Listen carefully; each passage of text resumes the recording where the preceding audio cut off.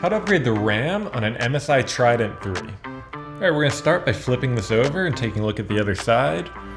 And there's actually a little groove right here for you to get your fingernail in and start prying off. Use a credit card, you can kind of help uh, basically just pop this top off.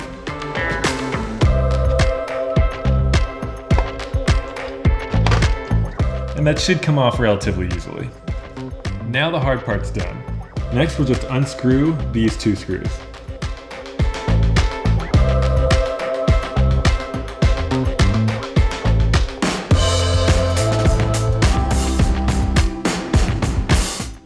The top should just slide right over and you can lift up.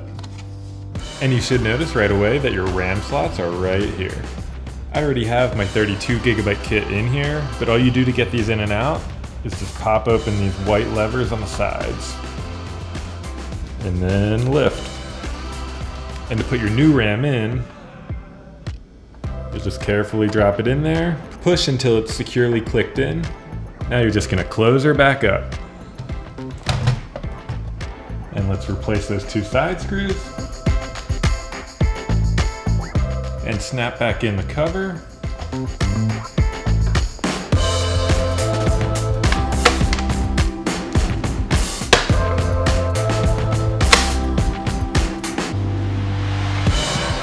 And you're good to go. I hope this tutorial was helpful. Thanks for watching. Let me know if this video helped you and rate and subscribe for more awesome quick tutorials.